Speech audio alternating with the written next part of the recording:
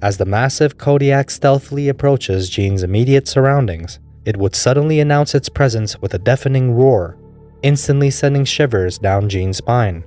And like a scene straight out of a horror movie, the massive Kodiak sow then gets on her hind legs and rises high above the ground, her lifeless eyes locked on Jean as she towered over him with pools of saliva proceeding to drip from her jaws,